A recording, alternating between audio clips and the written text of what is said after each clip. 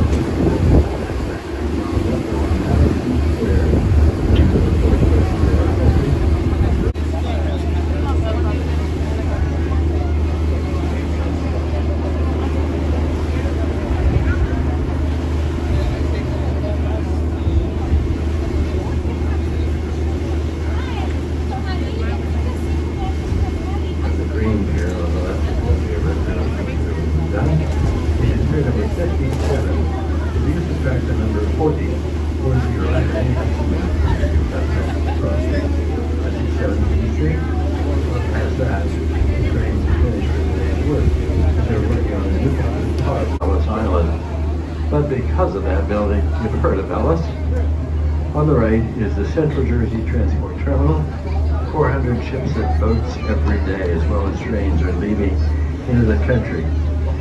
That makes it the biggest transport terminal ever built in the United States in 1889. And that's why you come to Ellis for transportation, not New York. Most immigrants who come into Anyport, they're not sticking around. They're going somewhere else. You provide the transport, they're going to come to you. In our case, 80%, four out of five, 12 and a half million folks leaving Ellis, 80% never set foot in New York. They came for transportation into that building. They came at the rate of over 50,000 passengers every day.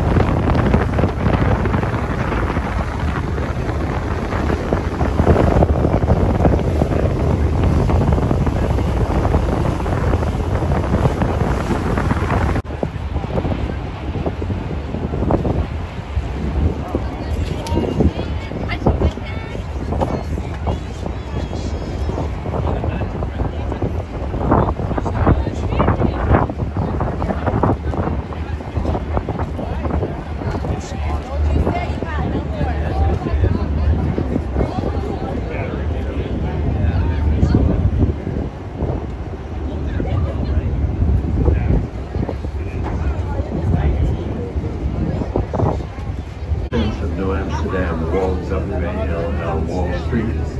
Now again, streets downtown are primarily named their history. The Dutch Wall of Defense north of their town was in the mid-1600s. That was the only defense they had. They no military at all. Way to defend themselves, no army, no navy. So New Amsterdam becomes New York because of that. Year 1664, Great Britain brought warships into the. You can't stop them. You don't have any to do it. Instead of attacking the soldiers on the ships, they'll build a fortress in lower Manhattan. That gave Great Britain absolute control. They now run the uh, area, not only the city and the river, but the whole area. So the king of Great Britain sent his brother in here